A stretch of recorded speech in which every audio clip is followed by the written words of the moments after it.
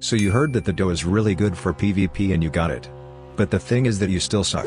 Well in that case this video is just for you because I will be showing you tips and tricks for better dough PvP, why is it good and how to make it even better. So if that's what you're looking for watch till the end. Today's shoutouts go to these guys. If you want a shoutout in the next video just leave a like and tell me in the comments do you have dough and if you do why do you love slash hate it. So first of all, why do we even use dough? Well dough is a mythical fruit that costs 2.8 million Beli if you manage to find it in stock, 1.4% of appearing in regular stock. So these stats immediately tells us that dough is really good, which isn't always the case but with the dough it is. So, there are two versions of dough V1 and V2 which means that it can be awakened. V1 is decent but V2 is the version where dough reaches its full potential. And when it comes to its awakening it's a bit complicated process since it's not like the other fruits. So if you want a detailed dough awakening guide tell me in the comments down below. Like every other fruit, dough has some pros and cons as well. So for example when it comes to combos this fruit is a beast. But, in order for you to do a successful combo you need really good aim. That's because dough doesn't forgive misses and it punishes you with really long cooldowns so you are pretty open to enemy attacks. But again if you manage to almost every hit you will easily one-shot a big amount of enemies. So don't let that bother you because you will gain skill and aim by practice and with the time so there is no really significant thing you can do about it right now. Also another pro of this fruit is that it is long range and good agility so you can escape teamers and try hard bounty hunters. So yeah. Also I don't currently have dough so I won't be showcasing it because I am pretty sure you know every move. So why am I giving tips and tricks for it when I don't have it? Well I did some research and I know the tips because I watched other videos about this topic so I made my own tips and tricks that put all of them into one. I am sure we can agree that items are very important if you want to have a decent PvP experience.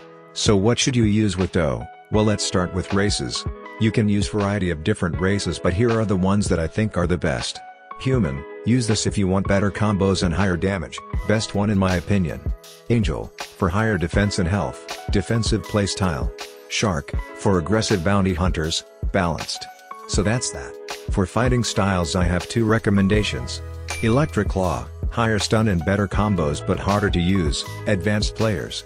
And Godhuman, harder to get but more balanced and easier to use. So choose what fits you and your current situation the best.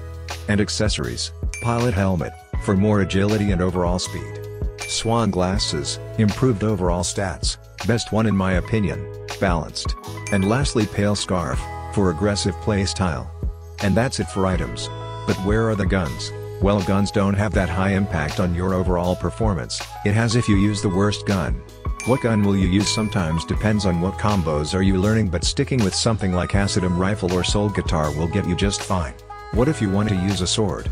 Well that won't be really possible because you want to put your all stat points in melee, defense and fruit. But if you want to use a sword for its stun then go with something like DTK, Soul Cane or Shisui. All of them are good and they are going to offer you combo extensions so you can one-shot more enemies. But the thing is, just using dough and these items won't make you up and unstoppable. You will gain skill when you PvP, and what's more skill based than combos? So if you want to improve your skill learn some combos as fast as possible. Since there are a ton of combos I can't show them all in one video so if you want me to make a video about them leave a comment down below. During this video I suppose that you already have dough. But what if you don't? Well then if you want to get it you have to look for some quick and easy ways to get it. If you have money the easiest one in my opinion is waiting for stock and rolling fruit dealer cousin at the same time. There are live stock at the wiki or you can find them on YouTube. Or, like I said you can hop into the game yourself and if it isn't in the stock go and roll a fruit at the dealer cousin.